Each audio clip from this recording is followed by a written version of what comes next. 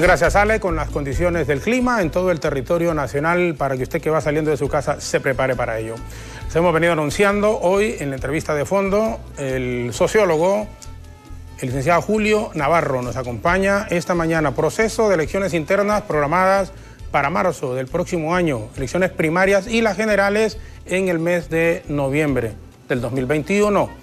Hay reformas electorales que están pendientes en el Congreso Nacional de la República, también la elaboración de una nueva tarjeta de identidad que se había anunciado que en el mes de marzo comenzarían ya a darle una nueva tarjeta o en el proceso de una nueva tarjeta de identidad a los hondureños y hemos visto que no han hablado en los últimos días de ello. Pero para conversar sobre estos temas, segunda vuelta, reelección presidencial, voto electrónico, las eh, eh, ser la sui, ¿cómo es la ciudadanización? ciudadanización de las mesas electorales para el proceso de las elecciones, sobre todo en las generales.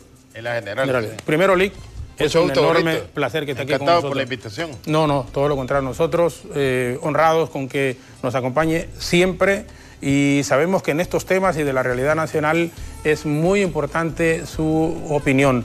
Eh, ¿Y qué tal todo? ¿Cómo ve el panorama en términos generales en el país en este momento? Vea, los hondureños seguimos preocupados fundamentalmente por el modelo político. Poca atención le ponemos nosotros al modelo, al modelo económico, que es la situación que se va agravando cada, cada día, ¿va? y las opciones que busca el hondureño para salir de su situación no están arraigadas en el país. Por lo general cree que resuelve sus problemas yéndose de, Honduras. Entonces yo creo que los hondureños, si así le pusiéramos tanta atención a la cuestión social y económica como se lo ponemos al problema político, creo que estaríamos en otro tipo de, condiciones, porque no, no hay... No, mire, nosotros seguimos planificando en base a ocurrencias. A lo que se me ocurre hoy, se me ocurre mañana y no tenemos nosotros una perspectiva a mediano o largo, largo plazo que sea independientemente de quién, eh, de quién gobierna. Nosotros necesitamos estrategias que puedan ser sostenibles. Jorgito, todavía nosotros preocupados por el problema de la energía, de la energía eléctrica. O sea, 25 años después nos vengan a decir que tenemos que tener eh, racionamiento, cuando toda la atención que se le ha prestado a nivel de los poderes del Estado a la inversión en energía eléctrica toda aquella enorme cantidad de contratos que se, que se aprobaron en el Congreso Nacional que suponía que a este momento nosotros debíamos de tener unos 2.500 eh, megas para, producir energía y estamos en una situación eh, a la expectativa. Los capitalinos, si además de la sequía vamos a tener el problema de racionamiento de, energía.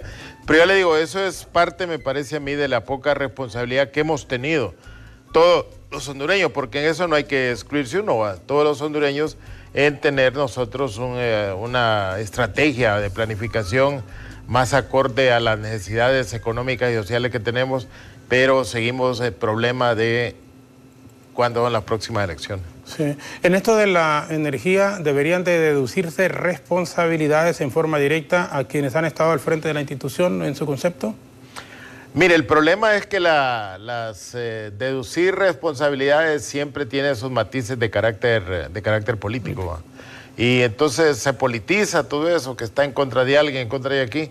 Lo, lo que deberíamos de hacer al rato es ignorar un poco lo que ha pasado y si hay problemas de carácter judicial que se encarguen los órganos encargados, pero las nuevas autoridades sí deberían de definir eh, algo consistente para que no volvamos a tener todos esos todos esos problemas. Y entonces hoy va a ver usted que afortunadamente en Centroamérica hay un mercado de energía eléctrica, pero como todo producto, si es escaso, es, es caro. Y entonces de la población no tiene a veces capacidad para pagar eso. Y, le, y la empresa nacional de energía eléctrica ha quedado, mire, comprando energía cara y vendiéndola no al precio que debe venderla y perdiendo en el diferencial entre compra y venta. ¿Y qué debe de hacerse con esa demanda de la empresa de energía Honduras hacia la ENE? Pues mire, como dicen los abogados, para eso existe el debido, el debido proceso. Y si la ENE en condiciones políticas de otro momento. Lograron firmar ese tipo de contratos leoninos para la empresa, hoy van a tener que hacerle frente al sistema judicial, porque recuerden que esas grandes empresas están protegidas por organizaciones internacionales que pueden tomar eh, represalias contra el país si usted no les da el debido proceso o, realmente no los atiende a nivel judicial sus, sus reclamos. Pero eh, así como nos vendieron aquí la idea de Energía Honduras, era que Energía Honduras iba a ir a resolver todos los problemas, hasta las pérdidas técnicas que se dan. Según los especialistas, la Energía Honduras lo iba a resolver y hoy nos damos cuenta que no. Eh, según lo que se sabe, hay todo un conflicto de intereses entre, entre grupos económicos que conforman esas empresas que entraron en, en contubernio con inversores, inversionistas hondureños que hoy puede hacer que vean en peligro sus inversiones. Incluido ahí, Jorgito, está el sindicato. Sí, porque el sindicato es socio. Es de, socio. La, de, la, propia... Y esos son los dineros, mire, de, los trabajadores. los trabajadores. Entonces puede poner en precario. Porque esas empresas son internacionales. Hoy están aquí, mañana, mañana se van, pero el sindicato no. El sindicato, su patrimonio debería o está aquí en Honduras. Nos pareció interesante de manera introductoria este tema así rápidamente de la Empresa Nacional de Energía Eléctrica, porque sabemos también que el licenciado lo conoce y es un asunto de prioridad nacional. Debe de resolverse definitivamente ese problema. Y si hay gente involucrada, directa o indirectamente, pues debería de, y comparto plenamente al 100%, las autoridades en el campo judicial atenderse de eso. Pero comenzar casi de cero con lo de la ENE, comenzar casi de cero. Las deudas, que bueno, que busquen una forma, un mecanismo en el cual se pongan de acuerdo y cierren definitivamente eso y que se comience, que en los próximos meses no tengamos esos famosos apagones, que no tengamos esos problemas que se están anunciando, que en los barrios y colonias constantemente se ve el servicio de energía, se arruinan los aparatos y no hay quien le pueda responder a la población. Nos centramos ahora en un tema por el cual habíamos invitado al licenciado Navarro, en este momento reformas electorales en el Congreso Nacional. Se estuvo a la expectativa en el mes de octubre, noviembre y diciembre del año recién finalizado.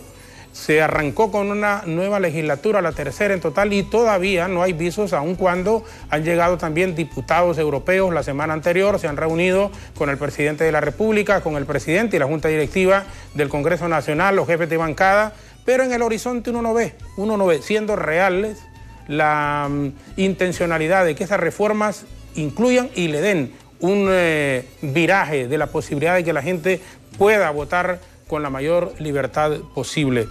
Estas reformas electorales, ¿cómo se pueden plantear cuando estamos a un año y meses? Bueno, estamos en el mes de... No, no, no, a un año, porque es en marzo, el 21 del mes de marzo del próximo año que se van a practicar las elecciones primarias en el país, licenciado Navarro. Jorgito, Mel Zelaya, que todos sabemos que es un hombre que tiene olfato de poder, dijo que solo falta un 10% de ponerse de acuerdo en todas las reformas electorales o la elaboración de una nueva ley electoral. Para Mel, ¿dónde está el 90?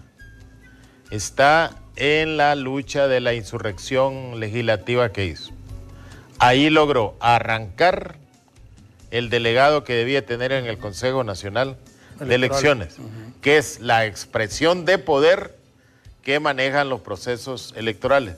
Entonces, Mel resolvió eso, resolvió lo del Registro Nacional de las Personas y prácticamente se ha olvidado de la presión que se debe hacer para reformar las otras, los otros artículos que, de acuerdo a lo que pasó en el 2013-2017, deberían de, deberían de hacerse. Entonces yo creo que no hay mucho interés político por hacer reformas electorales y asumo, Jorgito, que las que debían de hacerse ya se hicieron. Porque vea, hay problemas en la ley electoral en tres puntos. Mire, el primero, más delicado, es la composición de los representantes a las mesas electorales. Actualmente hay 10 partidos y hay tres partidos en proceso de, inscripción. Eso serían más o menos 13 partidos constituyendo una mesa electoral, serían 26, 26 eh, personas. Sí, difícil, y suplente, difícil de manejar. Y con todas las sospechas que hay de que partidos que sacan 3.500, 5.000 votos no tienen capacidad para acreditar un representante a las mesas, pero sí, hoy en día se escucha que los partidos que no tienen gran volumen electoral sí quieren participar en la presencia de la, de la, mesa, de la mesa electoral. Entonces, ahí hay una discusión. Mire, Libre ha, ha propuesto que los cargos de presidente, secretario y escrutador estén divididos entre Partido Liberal, Partido Nacional y Libre. O sea, se supone que la vez pasada hubo 10, 18 mil urnas. Yo creo que ese es el número que va a haber ahora porque van a depurar el, censo. Entonces usted tendría que el Partido Liberal tendría 6 mil presidentes, 6 mil secretarios y 6 mil escrutadores. Lo mismo Partido Nacional y Partido Libre. Entonces, solo ellos tendrían los tres cargos importantes de la mesa electoral. Y Libre dice que deberían de haber dos suplentes que deberían de ser en forma aleatoria entre las 18 mil urnas representadas por los otros 10 eh, o 8 partidos que, existan. Pero el Partido Nacional dice que no, que, deben haber cinco propietarios que deben estar distribuidos aleatoriamente entre cinco, entre cinco partidos políticos. Entonces hay una, hay una diferencia que no se han, han puesto de acuerdo y eso yo creo que va a llevar a la, larga. El otro problema, Jorgito, es eh, la deuda política. O sea, realmente tienen derecho a deuda política en las condiciones que está la ley actual el resto de los partidos políticos que no sacan la gran mayoría de votos. Entonces, actualmente, según la ley electoral, eh, si el Partido Nacional le dieron un millón quinientos mil, eh, sacó un millón quinientos mil votos y eso lo multiplicaron por 39 lempiras que costaba el voto, entonces al partido que sacó 3 mil votos le tocan aproximadamente 10 millones de, de lempiras. Entonces usted tendría, mire, que en 10 partidos políticos repartiría más o menos 100 millones de lempiras en deuda política. Entonces ahí hay un problema, hay un problema de que si la ley va a tocar va a tocar en forma igualitaria a todos los partidos o va a ser diferencia. Jorgito, el origen de todo esto, hay que acordarlo, fue cuando la DC y, la, y el Pino, no estaba la UD todavía. En aquel tiempo les daban el 30% a la DC y a la UD. Usted recuerda que la, primera participación de la fue el primer partido que hizo un edificio, allá por eh, aquí por los Castaños. Hizo un edificio parte de la deuda política. Después les dieron les han estado dando el 15. Entonces se cree que hay una injusticia en la distribución del voto, que cómo es que el voto de un nacionalista vale 39 lempiras y de un demócrata cristiano vale 3.800 lempiras.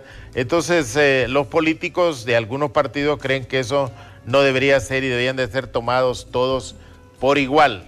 El otro, el otro problema que se da, miren, la, en, la, en los acuerdos que hay en, en las comisiones que están trabajando, en el problema de las mesas electorales es sobre el escrutinio.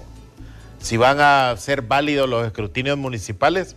Jorgito, en Honduras, usted las urnas de Olanchito de alcalde las trae para acá. Y, si el, alcalde, y si, hay un alcalde ya que se considera perjudicado, se viene a dormir aquí al Infoc. Cuando esas, esas urnas no debían de traerse. Si hay un reclamo, debía de ser allá en el organismo departamental que, municipal que existe. También las urnas para diputados, ¿por qué tiene que traerlas acá?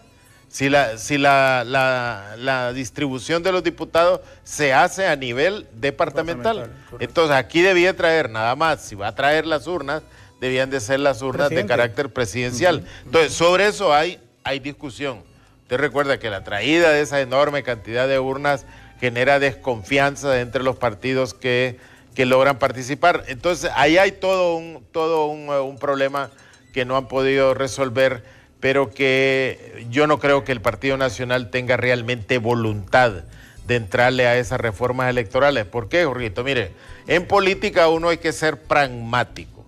Si esa ley electoral actual le ha garantizado al Partido Nacional tres elecciones consecutivas, mal haría en estar interesado en, en cambiarla. Independientemente de que se haya dicho de que hubo fraude electoral en las dos independientemente últimas. Pero de eso. es que ahí está, el presidente. Claro, independientemente de eso. Entonces mal haría en cambiarla y no hay la voluntad que se requiere para hacerlo. Mire, se han metido otros indicadores que dice que debe tener la nueva ley, pero que tienen otra trascendencia política. Por ejemplo, dice que debe haber eh, segunda vuelta. Yo no creo que se vaya a aprobar eh, segunda segunda vuelta, y otros ponen de ejemplos en todos los países de América Latina, acá todos tienen segunda vuelta, pero Honduras tiene la composición política de Honduras no le da para que esos partidos políticos lleguen a un acuerdo para una, para una segunda vuelta. También hay discusión sobre el voto electrónico, si debe ser o no debe, o no debe ser. Aunque hoy en día uno dice, Jorgito, que las telecomunicaciones están a la orden del día en todo el país. Mire, eso no es tan cierto. O sea, hay zonas en Honduras donde usted para obtener una señal de internet, usted tiene que subirse a un cerro, tiene que irse a otro lado y no necesariamente en una, en una escuela. Pero eso se puede hacer diferenciado. O sea, hay 34 ciudades en Honduras, 34 municipios que usted sí puede hacer el voto electrónico en forma, en forma rápida.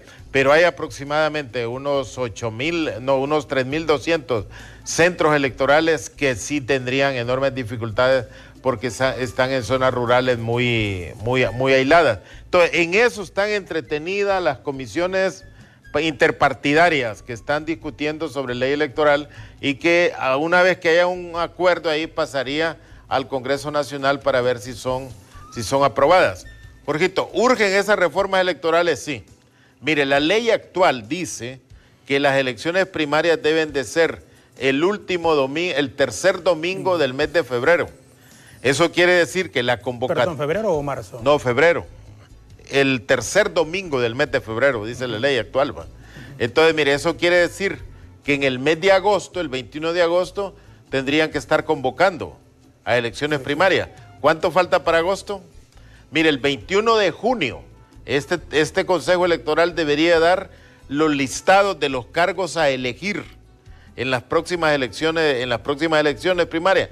Falta poco. En el mes de mayo, el 21 de mayo, el Tribunal, el Consejo Nacional Electoral debe dar el cronograma electoral de las primarias, de las elecciones primarias que se celebrarán el otro, el otro año.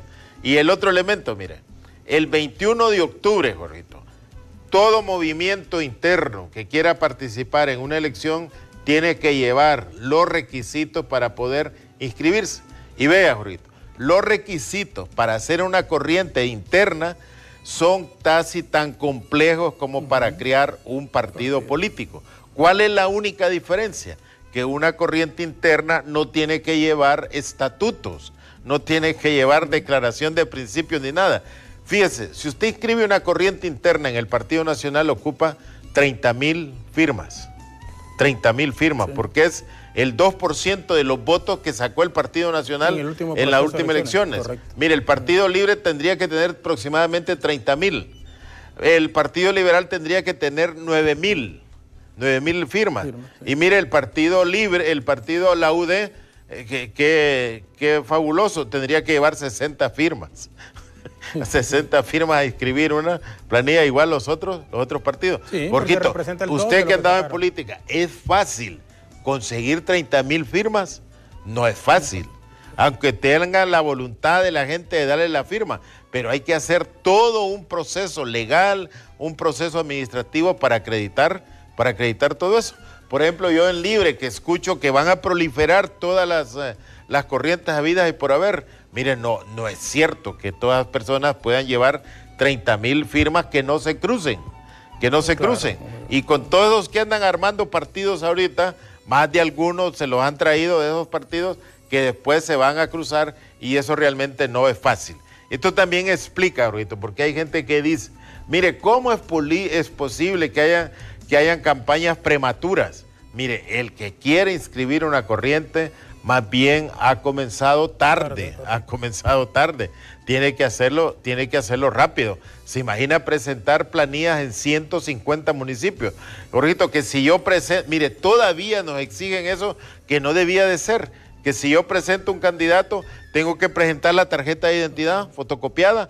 No debía ser. Si para eso hay un sistema digital que yo compruebo si las personas existen o no, o no, no existen, o si están en una planilla o están en otra. Eso necesita la nueva ley electoral hacerlo para que haya un proceso realmente, realmente fluido y no un proceso sumamente costoso. Un proceso fluido y muy transparente, porque realmente esa duda podría darse, el licenciado, en este aspecto, de que si no hay un proceso creíble en las elecciones tanto internas como generales del próximo año, Yo no sé si soy muy pesimista, pero aquí pueden haber problemas, pero problemas de verdad. Es decir, gente en las calles protestando permanentemente porque se está llegando a, un momento en que ya no se cree en los políticos. Y si no se le da un proceso transparente, independientemente de quién gane, si hay protestas de los eh, partidos que pierdan, de los eh, dirigentes de partidos que pierdan, yo creo que realmente aquí sí ya se está llegando como a un tope que la gente ya no está creyendo en nadie. ¿eh?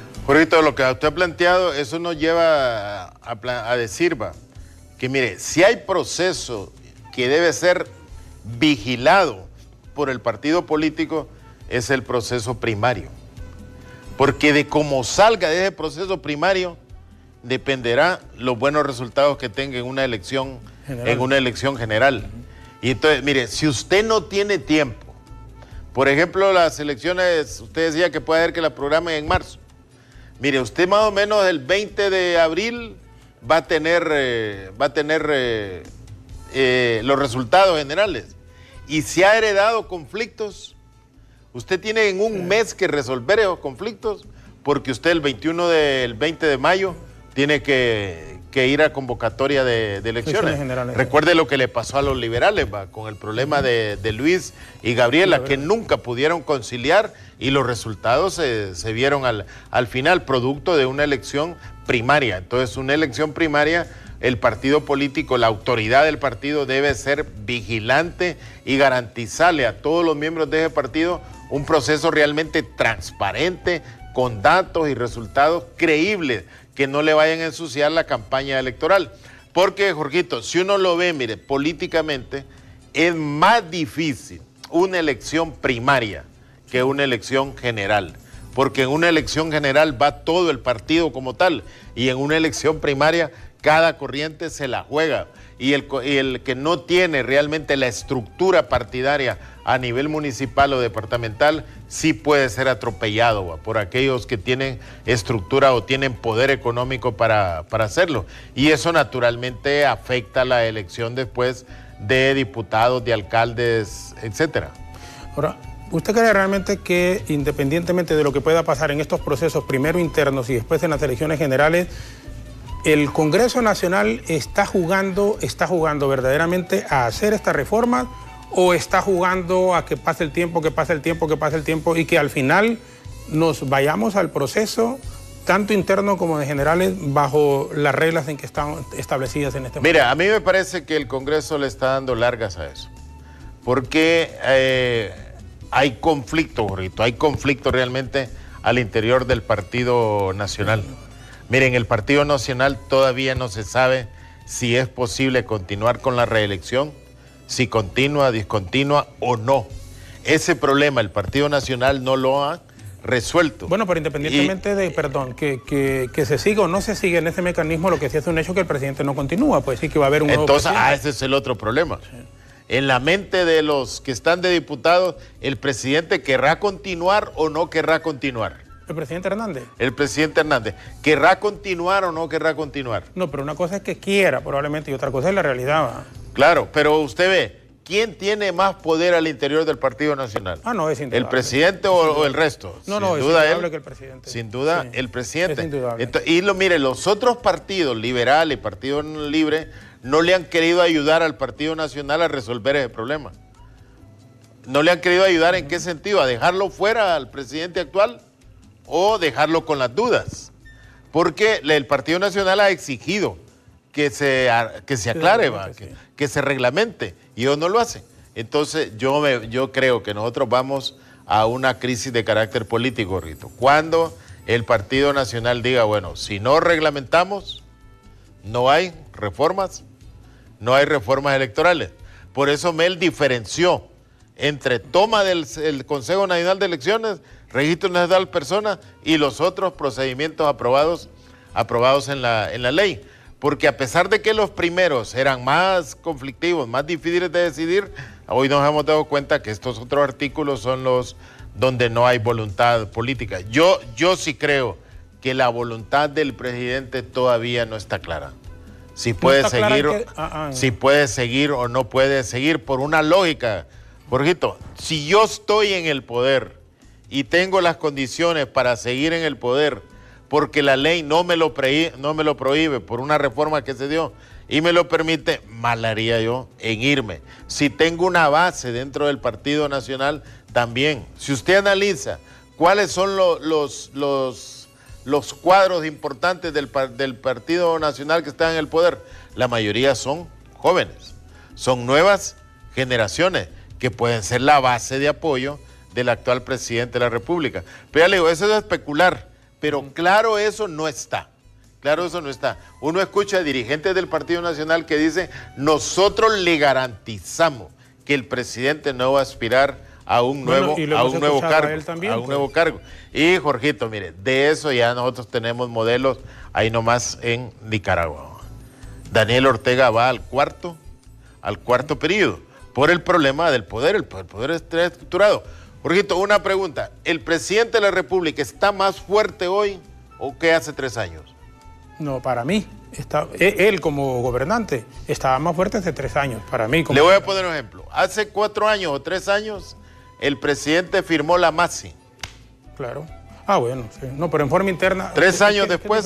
¿Por qué? ¿Está más fuerte o no? Claro, en ese aspecto sí. Está más fuerte. Ya en ese aspecto sí, porque él controla, aunque se diga lo contrario, pero en la realidad sí es controla la Corte Suprema de Justicia, controla la Fiscalía y controla todos los entes. Y tiene un apoyo muy importante. Las Fuerzas, Armadas. correcto. Hoy están más consolidadas con el presidente de la República que menos tolerantes hacia otros, hacia otros sectores. Eh, Entonces, eso dificulta la aprobación de una nueva ley electoral. Entonces, los partidos políticos liberal y, libre debían de ser un poco pragmáticos. ¿Qué problemas tienen ustedes, Partido Nacional o no? Aclarémoslo pues. ¿Esto ya se dio o no se dio? O, vemos cómo se da después. Pero esto le va a traer confusión al sistema político, al sistema político de Honduras.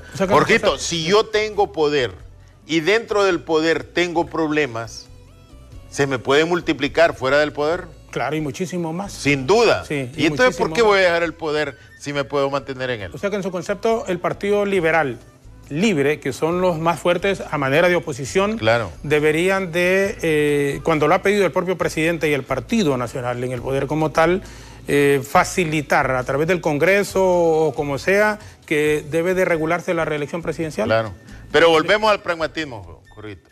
¿A libre le conviene hot de, presidente, de candidato?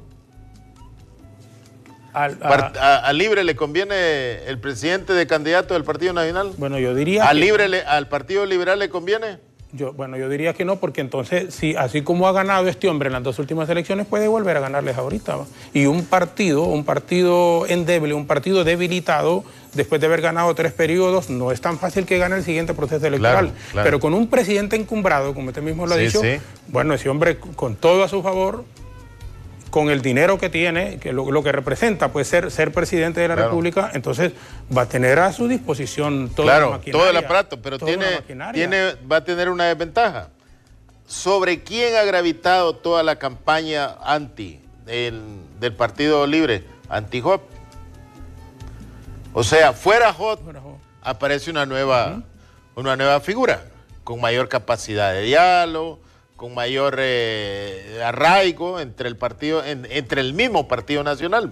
Entonces, mire, todo eso se juega, pero no solo en política, sino que a mí me parece en contra de la certidumbre que debería tener un proceso electoral eh, eh, futuro en nuestro, en nuestro país. Debía estar claras las reglas, pero pareciera que eso que eso no... Ahora, cuando anda en campaña abierta ya el presidente del Congreso, el alcalde de Tegucigalpa, aunque no lo ha dicho él públicamente, pero sí anda trabajando por su candidatura, cuando el designado presidencial Ricardo Álvarez anda también trabajando fuertemente por querer ser el candidato, ¿cómo se explica entonces esa posibilidad de que el presidente pudiese volver a ser el candidato del Partido Nacional? Mire, el presidente del Congreso todos los presidentes del Congreso han sido personas que han tenido aspiraciones y recuerda, eh, solo Carlos Montoya y Bujirón no pudieron, también Pito Iría no pudieron, no pudieron ser, Pepe Lobo, Juan Orlando lo fue, Carlos Flores, Carlos Flores lo, Carlos Flores lo fue. Entonces el poder del Congreso Nacional le da a uno una facultad como para poder eh, constituirse como candidatura presidencial. Yo al presidente Oliva el problema que le veo es que va a tener que cargar con todos los diputados que tienen el Congreso, en el Congreso Nacional del Partido, del Partido Nacional. Y eso le puede generar a él algunos, algunos problemas. Contrario a Tito Asfura, que no tiene esa carga. O sea, porque él no tiene una representación así nacional muy, muy reconocida. Entonces, pues sí aparecería como la figura nueva dentro del partido, dentro del Partido Nacional. Pero dígame, ¿quién va a llevar a representar al, presidente, al presidente del Congreso a Santa Bárbara? Lo va a llevar Mario Pérez. ¿Cuánto tiene Mario Pérez? ¿Quién lo va a llevar a Colón? ¿Quién lo va a llevar a Nacahome? ¿Quién lo va a, llevar a todos eso, a todos lugares? ese es un problema, ese es, ese es un problema. Por eso yo a veces veo que no, no está del todo fuera de la agenda electoral primaria Ricardo, Ricardo Álvarez. Ricardo Álvarez puede hacer resurgir un cierto nacionalismo que ha estado en la cocina, que no lo han llamado a la sala, que no ha participado en, en, en todos estos gobiernos como tales y que puede, puede jalarlo. El problema que yo a Ricardo a veces lo miro muy, muy temeroso. O sea, ya incluso está diciendo que Oliva tira, hace puentes. Y el que hace puentes en Honduras es Tito Aspura. Es Tito Aspura. Pero él dice que, que Oliva hace, hace puentes. Entonces, mira, hay toda una confusión, fundamentalmente Jorgito, en el partido de, en el partido de gobierno, quién es el, quién es el candidato. Y eso también por lo que dice usted. O sea, si uno lo ve eh, electoralmente, el Partido Nacional sigue teniendo enormes posibilidades de continuar en el poder con un candidato u otro. Por eso es que el Partido Nacional está totalmente en contra, aunque no lo diga, de la segunda, de la segunda vuelta. Porque si a mí me asegura el triunfo la primera vuelta, yo malaría en buscar procesos democráticos que le den una nueva imagen a las elecciones a costa de qué? A costa del prestigio, la posibilidad del partido de que pueda ganar, eh, de que pueda ganar las elecciones. Ahora, pero lo importante debe ser, Gurito, mire, yo creo que al 20 de marzo los partidos políticos deben de estar claros van a haber reformas electorales, va a haber nueva ley o no va a haber, para que cada uno, cada uno de los partidos ya tenga en cuenta sobre qué reglas va, va, va a actuar o va a, o va a trabajar, va, porque de lo contrario, estar esperando, eh, imagínense, le decía yo el 22 de, junio, el 21 de junio, el tribunal, el, el Consejo Nacional Electoral tiene que decir cuáles son los cargos, si va a haber vicepresidente, van a haber designados, si van a haber todas cosas. Mire, el Parlamento Centroamericano se dice que ahora hay que votar por una planilla aparte al Parlamento Centroamericano, que si se va a modificar, no es posible que un partido político con tres mil votos tenga un, un representante al Parlamento Centroamericano. Entonces, todas esas leyes también me parece a mí que deben de ser, eh, deben de ser modificadas. Hay otra discusión, Gorguito, ahí en, la, en las mesas, es el voto en el exterior. Mire, el voto en el exterior lo crió Pineda Ponce. Yo recuerdo que en ese tiempo el hijo del profesor Pineda Ponce era el cónsul en, eh, Nueva York. Y entonces él tenía muchos amigos allá y le decían, aquí vamos a votar por tu papá, etcétera, y crearon el voto en el exterior. Y el voto en el exterior nunca ha pasado de 5 mil de cinco mil votos fundamentalmente en Estados, en Estados Unidos. Entonces no tiene peso, pero tampoco se puede eliminar, porque ya está, ya está establecido. Lo que habría que definir que el voto en el exterior debería ser por medios electrónicos, o sea, por internet, debería registrarse alguien que va a votar, va. Porque, miren, en Estados Unidos usted no puede encontrar un local donde va a reunir 400 personas haciendo cola para votar. Le llega la policía. ¿Qué, pasó aquí? Entonces las condiciones son otras, pero debía de haber un voto electrónico para contarlo en un proceso, en un proceso realmente transparente. Porque yo sí creo que, mire, ¿cómo le quita a usted el derecho a un hondureño que vive en el exterior a no votar si esos hondureños contribuyen con 5 mil millones de dólares a la economía de a la economía de Honduras. Entonces lo que debía de abrírseles es la forma en cómo ellos pueden expresarse en un proceso electoral en Honduras. Estamos conversando con el sociólogo don Julio Navarro, proceso de elecciones tanto internas como generales en nuestro país. Sus consultas 31 82 43 75. Además, Gracias por acompañarnos en el Facebook BTV Somos Todos Honduras. Una brevísima pausa y regresamos ya en esta segunda parte con nuestro invitado la mañana de hoy.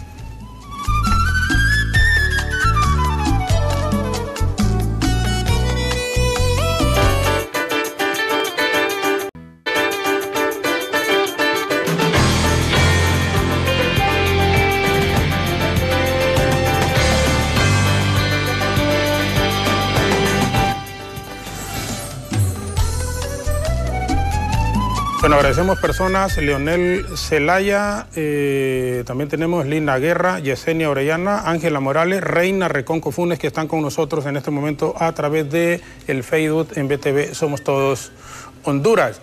Tenemos ya participación de algunos de nuestros amigos televidentes y radioescuchas que están con nosotros y nos envían sus mensajes al 3182 43 75 que ponemos en este momento en pantalla. Eh, buenos días y esos lanzamientos prematuros de candidaturas presidenciales nacionalistas, ¿quién las regula? ¿Y qué opina de la nueva tarjeta de identidad? Consulta para usted, licenciado Navarro. No, yo le decía que esos lanzamientos no son prematuros, porque los requisitos que exige la ley son fuertes. Jorgito, al 21 de octubre, con la actual ley, yo tengo que llevar 30 mil firmas en el Partido Nacional y 30 mil firmas en libre. Tengo que llevar 298 alcaldes, vicealcaldes documentados. Tengo que llevar aproximadamente 2.500 regidores documentados. Tengo que llevar, mire, los representantes a las mesas electorales. Póngale que hayan 8.000 mesas en una, en una elección primaria tengo que llevar la estructura del partido en cada uno de los departamentos, si son comités, si son consejos, si son grupos ciudadanos, etcétera. Entonces es un trabajo fuerte que tienen que hacer los que aspiran a tener un movimiento interno dentro de un eh, dentro de un partido político. Y los tiempos realmente en, procesos electorales, eh, ah, porque le aparezcan largos usted cuando menos acuerda, son cortos y usted tiene que presentar a una hora fatal los requisitos que le, le piden. ¿Por qué? Porque la mayoría de las veces los partidos políticos son benevolentes en que las corrientes internas no cumplan todos los, requisitos. todos los requisitos, sino que lo envían al tribunal o al Consejo Nacional Electoral a que los inscriban. Pero ahora me parece a mí que va a haber vigilancia, vigilancia de los otros movimientos fuertes a que no les pongan otros movimientos pequeños que puede hacer que les quiten diputaciones a, los, a los partidarios de, de, las corrientes, de las corrientes grandes.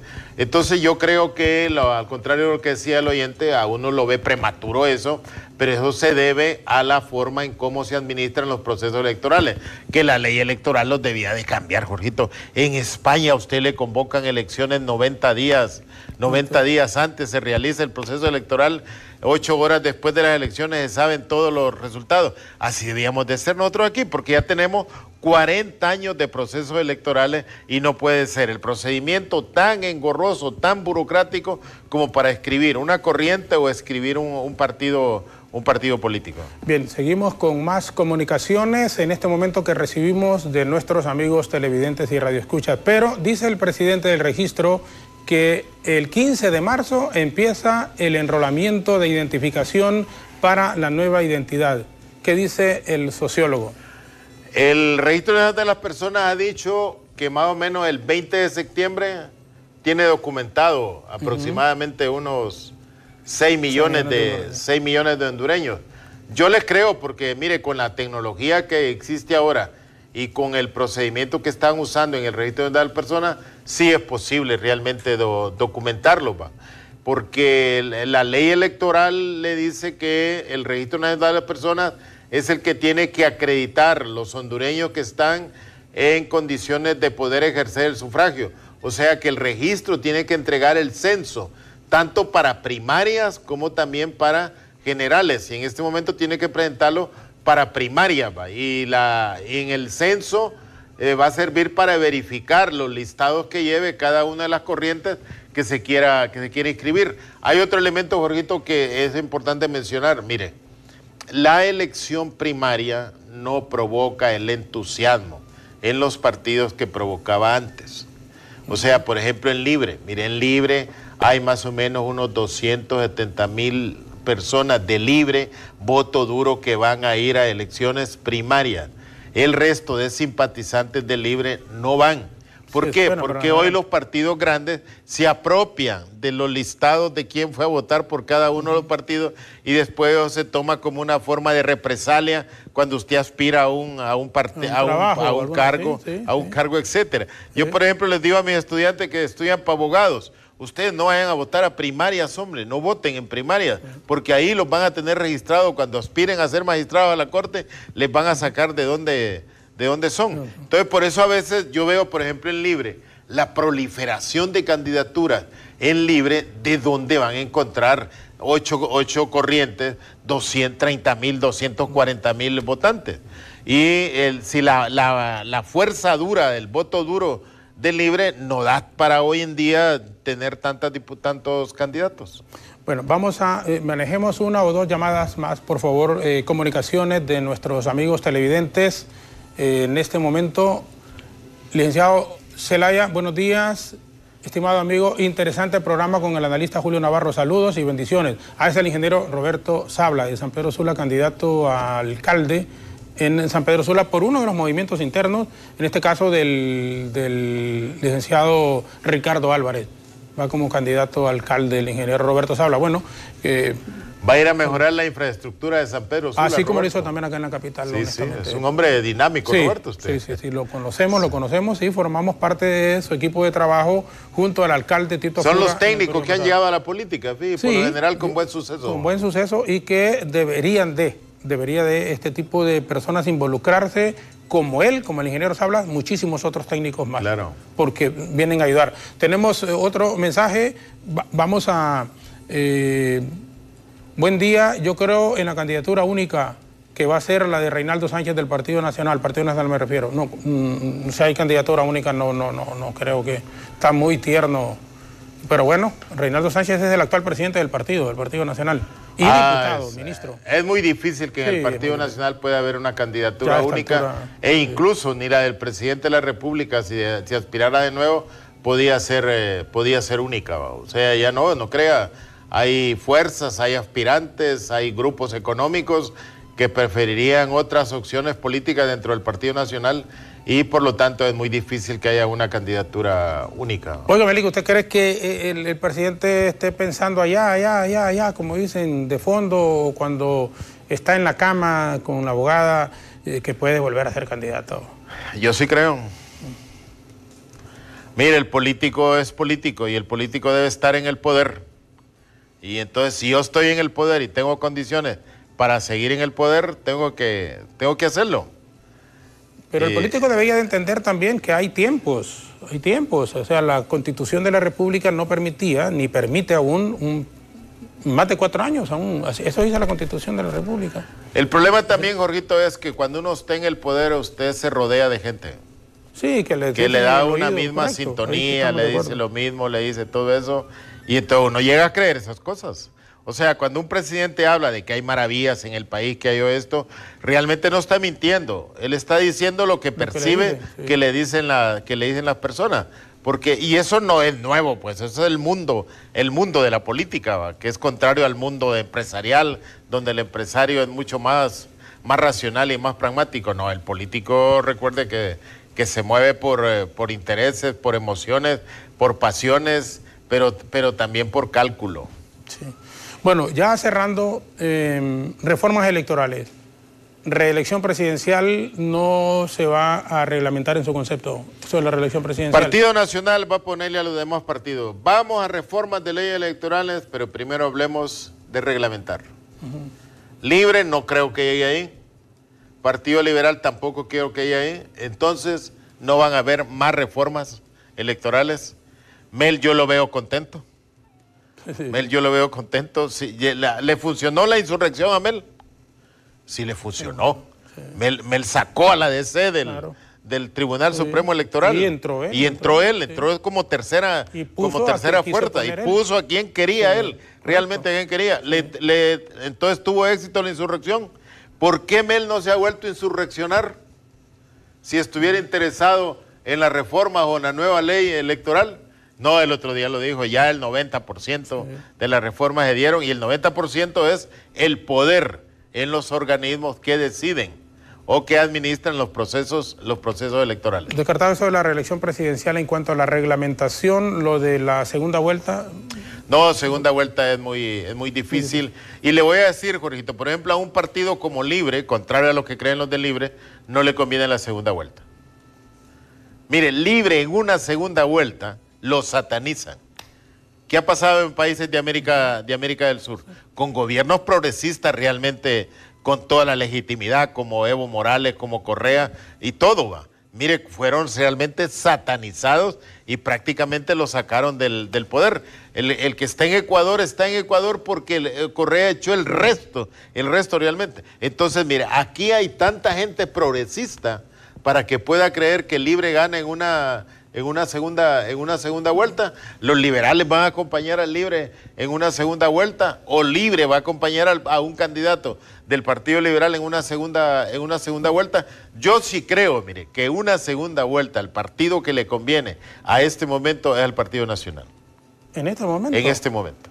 Es el Partido Nacional que le conviene una, una segunda vuelta. Porque si usted en, su, en sus cálculos tiene asegurada la primera vuelta, pero también puede fallarle, se asegura la, se asegura la segunda, sí puede. Mire lo que pasó en la liga, mire lo que pasó en la liga nacional.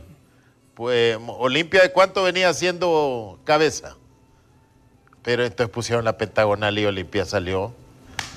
Esos son los cálculos políticos que usted tiene que hacer. Yo sí creo que a este momento, mire, el partido más interesado en una segunda vuelta debía de ser el Partido Nacional, porque es muy difícil que la oposición aquí, con un partido triunfante como libre, logre sumar, logre sumar. Mire, en el Partido Liberal hay un segmento conservador, temeroso de las posiciones progresistas que plantea Mel, como para que vayan a ir a votar en una, en una, en una segunda vuelta.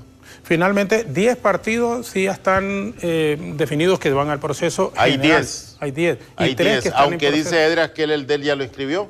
Sí, sí. Está el de Salvador y está el de don Marlon Escoto. Sí, correcto, que están hay en 13, entonces hay tres más, dice, que se van a inscribir. Jorgito, pero por último había que recordarle a, a los que quieren entrar a primarias.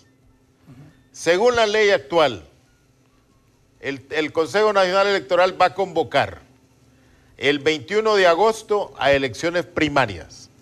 El 21 de septiembre tienen que tener las firmas 30 mil en Libre, 30 mil en el Partido Nacional, 9 mil en el Partido Liberal, 60 votos, 60 firmas en los partidos pequeños para inscribir planillas.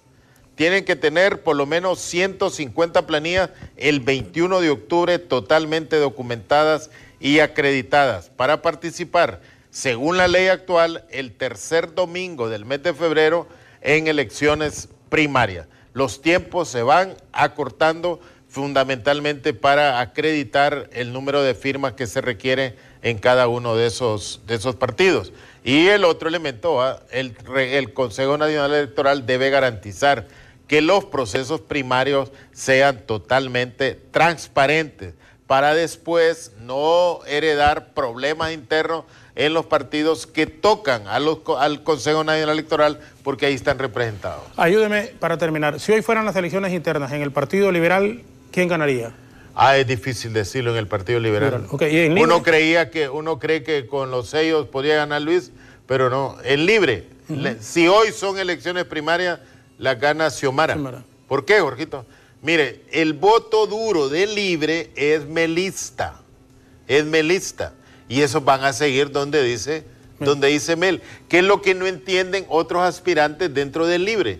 Yo sí creo, mire, que otros aspirantes dentro del libre, más allá de la frontera del libre, pueden captar más votos que Xiomara. Pero al interior del libre, en una primaria, van a perder, les va a ganar Xiomara porque la base del libre, la base dura del libre militante es melista y ellos se van a ir por donde Mel dice. ¿Y el Partido Nacional? En el Partido Nacional, si fueran primarias, hoy en día yo creo que se las disputaría Tito con el presidente del Congreso, del Congreso Nacional, con, con, el doctor Oliva, con una desventaja que le veo yo, que, que en una primaria puede salir mejor librado como candidato Tito Azpura que el presidente Oliva, porque el presidente Oliva, repito, va a cargar con todos esos diputados que vea si al momento de las elecciones muchos de ellos no se los tengan imputados, que puede ser una parte, una, jugada política.